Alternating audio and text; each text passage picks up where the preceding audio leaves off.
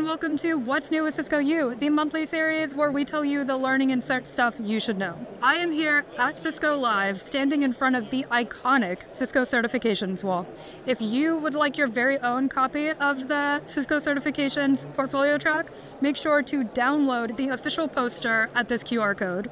At Cisco Live, Learn with Cisco is focusing on many key trending IT topics, but first and foremost is AI and automation.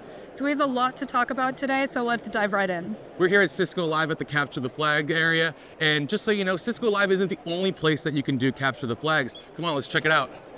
So Cisco U has Capture the Flag challenges that we put out once a quarter. This quarter we have our Capture the Flag challenge called Operation SMB Exploit. First, you'll scan for vulnerable hosts inside of a network. You'll then do a brute force SSH attack to compromise that host. And then you'll do some SMB exploits and enumerate through SMB shares. So check that out on Cisco U. That's u.cisco.com. I'm here to talk about our new Rev Up program to help everybody build skills and also earn continuing education credits towards recertification. The big thing that we've just announced that's going to run from June 6th till August 7th, wow, that's a long time, is two courses that are premium that are available for you to use for free to build those skills and earn those CE credits. The first one is AI Infrastructure Advanced Automation. That's going to be a companion to the last rev up that tell you everything about AI infra essentials. Now you're going to learn how to automate that infrastructure.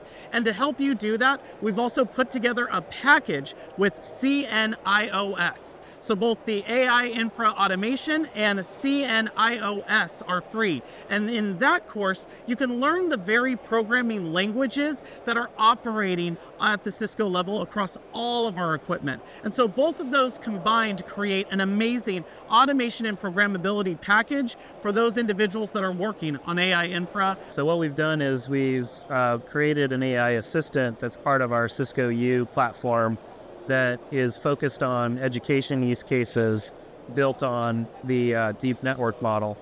So right here, what I'm going to demonstrate is have the AI assistant act as a virtual tutor. And so if I just hit uh, enter here, what it's doing is processing that question, and then it's going to come back with a series of questions to help me learn a technology called BGP. So I'm not confident in it. It'll give me some clues and tips about how I can learn more. It can direct me to content directly in Cisco U or even to Cisco documentation. If you have been enjoying this video and are enjoying content from our tech experts, please make sure to like, comment, subscribe. I hope you are having a good day wherever you are around the world and happy learning.